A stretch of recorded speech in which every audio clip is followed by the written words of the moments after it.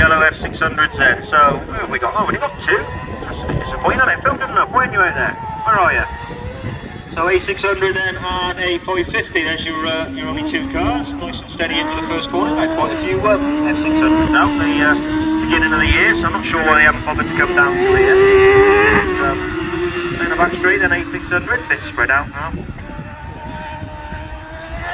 So already uh, already spread out there, but it's Sam Murphy and Dave Young. So Sam Murphy A600 and Dave Young an I550, 550. Just gets a little bit wrong there, Dave Young.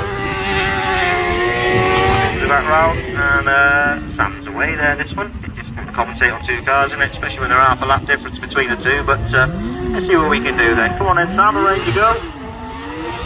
She's on another lap completed then, so let's see if she can catch A550. Let's, uh, let's go for that then. So get the toe down, Sam. Let's have a look. Just the 3,000 RPM needed extra. Oh my word. My mistake.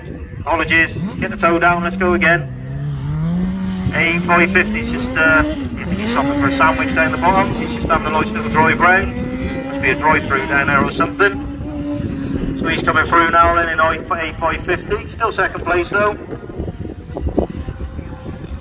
short on a mouthpiece on the helmet, so he's probably catching some food as he goes round. So uh, she's on her last lap flight, then A600. She'll take it steady this time, Sam. Let's see if she can catch Dave and have some bragging rights in the Atherstone Club. Down the back straight then, and she is going to catch him. Uh, he's, having a job.